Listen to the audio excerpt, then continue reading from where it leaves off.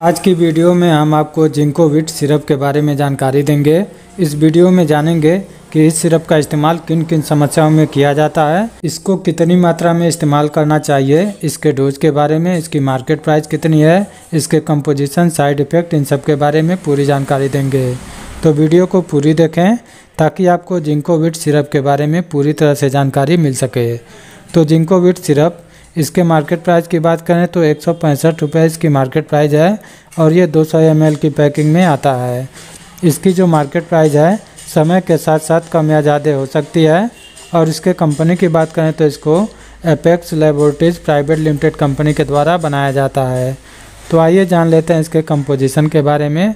तो इसमें multi vitamin और मल्टी मिनरल्स होते हैं। और आइए जान लेते हैं इसके यूजेज के बारे में जिंकोविट सिरप का इस्तेमाल किन किन समस्याओं में किया जाता है। तो जैसा कि इस सिरप में मल्टी विटामिन और मल्टी मिनरल होता है तो यह एक बहुत ही बेहतरीन न्यूट्रिशनल सप्लीमेंट है, जो कि हमारे शरीर में पोषक तत्वों की कमी को पूरा करता है।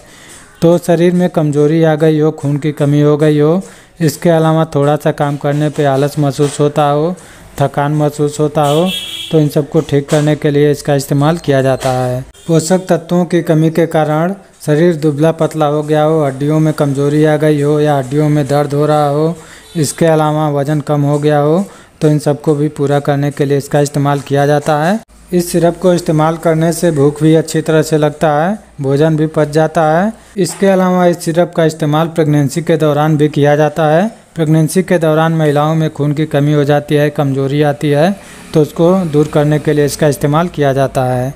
इस सिरप को इस्तेमाल करने से रोग प्रतिरोधक क्षमता भी बढ़ती है, जिससे कि शरीर को बीमारियों से लड़ने में मदद मिलता है। तो इस प्रकार से ये बहुत ही बेहतरीन सिरप है, जो कि हमारे शरीर में पोषक तत्वों की कमी को पूरा करता है और पोषक तत्वों की कमी से जितनी समस्याएँ होती हैं, उनको ठीक करता है। तो आइए जान लेते हैं इसके डोज के बारे में। जिंकोविट सिरप को कितनी मात्रा में इस्तेमाल करना चाहिए? तो इस सिरप को एक एडल्ट व्यक्ति पाँच एम सुबह और पाँच एम शाम खाना खाने के बाद ले सकते हैं और अगर छोटे बच्चे हैं तो उनको ढाई एमएल सुबह शाम दिया जा सकता है। तो इसको लेने से पहले अपने डॉक्टर से परामर्श ज़रूर ले लेना चाहिए, तभी इसका इस्तेमाल करना चाहिए। क्योंकि डोज जो है एज और वेट के हिसाब से अलग अलग होता है और कितने दिन इस्तेमाल करना है ये समस्या के ऊपर निर्भर करता है। तो डॉक्टर आपको जितनी मात्रा में कहें, उतनी मात्रा में इसका इस्तेमाल करें। और आइए जान लेते हैं जिंकोविट सिरप के साइड इफ़ेक्ट के बारे में इसके क्या क्या साइड इफ़ेक्ट हो सकते हैं। तो इस सिरप के साइड इफ़ेक्ट, जी मचलाना उल्टी होना, सर दर्द होना, पेट में दर्द हो सकता है, दस्त हो सकता है तो ये सब इसके साइड इफ़ेक्ट हैं जो कि किसी किसी को हो सकते हैं, सभी को नहीं होते हैं।